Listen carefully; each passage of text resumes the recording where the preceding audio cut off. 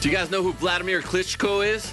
He's engaged to Hayden Panettiere, right? Yes, he is. He's like six foot six too. He's humongous. He tweeted a picture the other day of him posing like Arnold, where he's incredibly huge, and he wrote, "Ish, LOL, trying to catch up since I'm 12."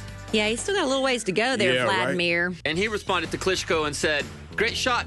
It's fantastic to see one of my favorite champions nail in my pose. Right back at you." Uh, Arnold's kind of sagging a little bit. Uh, excuse me, Al.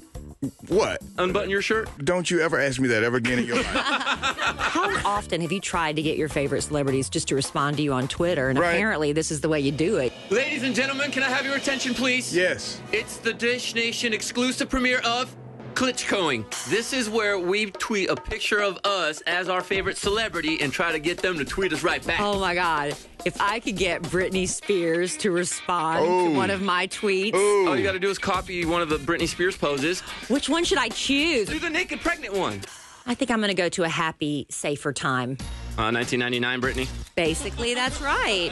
Al, who would you like to take a picture of? Well, dude, the Fresh Prince of Bel Air, duh. Come Problem, on, man. He has hair. I've told you guys that I've been trying to get Eminem's attention for years, so I'm going to do Eminem.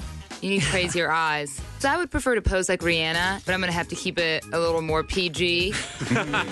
So we need your help, Dish Nation. We posted our pictures on Twitter. We want you guys to retweet them.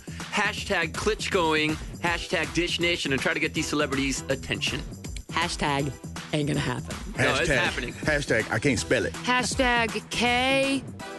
Yeah, right?